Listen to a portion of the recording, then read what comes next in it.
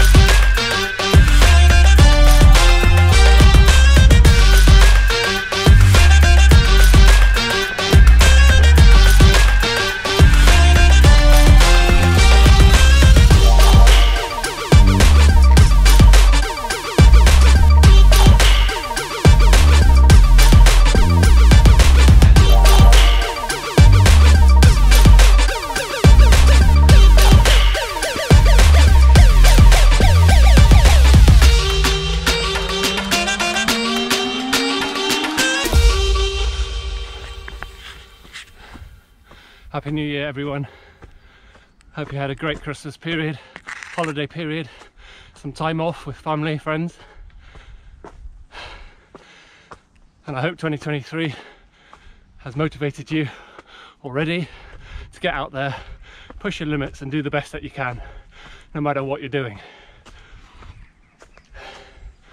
It's January the 1st, and I had to get out, didn't I? Of course I did and I'm on the Cotswold Way.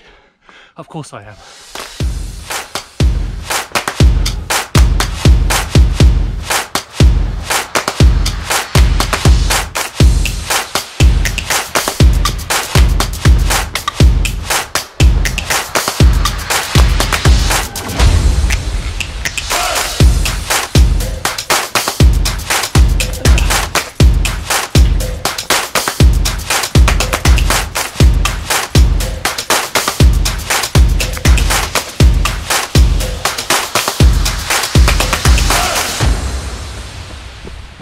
A huge thank you to all of you for your support throughout the whole of last year and beyond.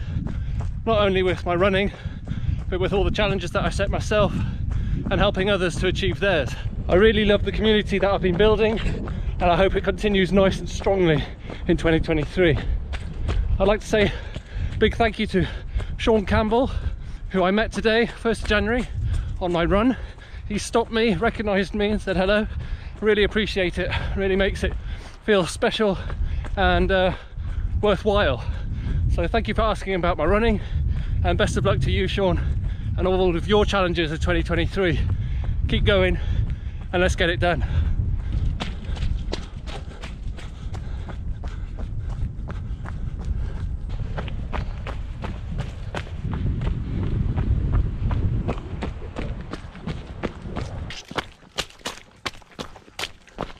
I'm not going to really review 2022. If you've been following my channel, I'm sure you would have seen the majority of the videos, or at least the ones you're interested in. However, if you would like me to break down any part of 2022, let me know, and of course I will do it, if there's the demand. Now when it comes to 2023, of course, I have my goals. I have my races, and they're prioritised. And I, of course, will let you know what they are in due course. But right now, just got to enjoy winter running, haven't we? So let's get out there and get on with it. But I do have two questions. Number one, what is your key takeaway from 2022? And number two, what is your main goal for 2023? Let me know in the comments.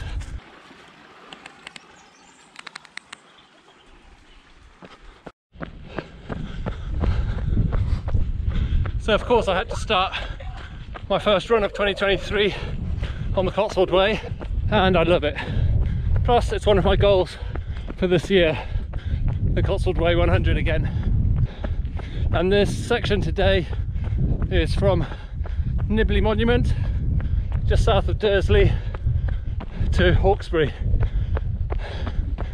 A return trip out and back, around 20 miles. Okay, this is the turnaround point, Hawkesbury Upton. Time to head back before it gets dark. So one of my achievements last year was uh, to reach the goal of a thousand subscribers, which I did just before Christmas. And I was surprised but also overwhelmed. So thank you to everyone that is part of the journey, part of the community. really means a lot. Hopefully we can grow this year as well.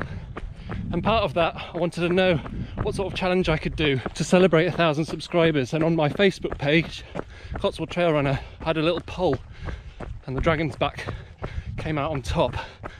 So I'll pencil that in for either next year, 2024 or 25, because I want to be ready. But this year, I do want to take on Everesting Challenge. So as that develops, I'll let you know more.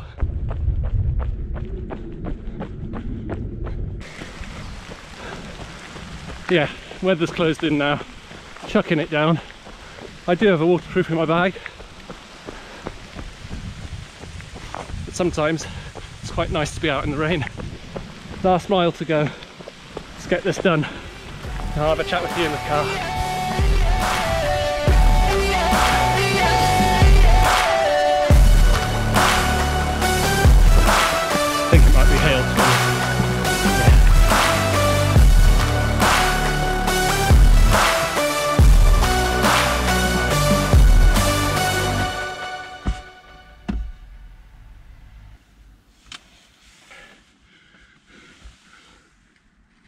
There we go, New Year's Day run done. Just shy of 20 miles in the end and just over two and a half thousand feet of elevation. Nice to get out in that weather despite the downpour of hail at the end. I hope you managed to get out in this first week of January. Let me know how you get on. My focus now switches to uh, my first race of the year at the end of January and I'll let you know more details about that in the coming weeks. Hope you enjoyed. Hope you had a good holiday. I'll see you in the next one.